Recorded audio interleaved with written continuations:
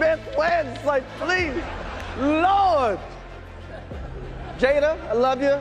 G.I. Jane 2, can't wait to see it. All right?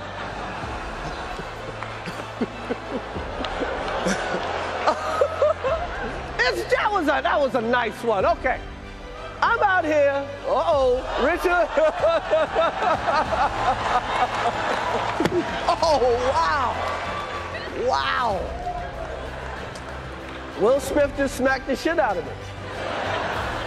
Oh boy, welcome back everyone. There's probably not a soul on earth who hasn't witnessed this historic television moment. Upon the news hitting the Twitter sphere, however, I noticed a meme had reared its face very consistently in threads. Now, rarely do I find a correlation between current events and comic book history, but oddly, it seems like as good a time as any to explain where this now infamous meme began. The shortest answer is that the panel was from an alternate universe story where Batman is convinced that Superman murdered his dad. Allow me to explain.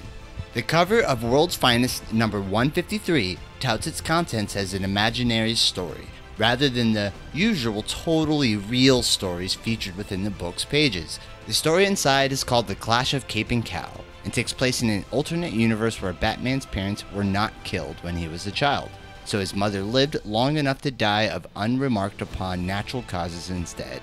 Both Bruce Wayne and Clark Kent are teens now, the latter known as the internationally beloved hero Superboy. Bruce's dad, who is a medical doctor who's researching an anti kryptonite serum to help Superboy against his enemies, is suddenly murdered by a prowler on the same day that he was supposed to hand the serum over to Superboy. Bruce manages to catch a glimpse of the killer before they fled through an open window and he comes to some conclusions.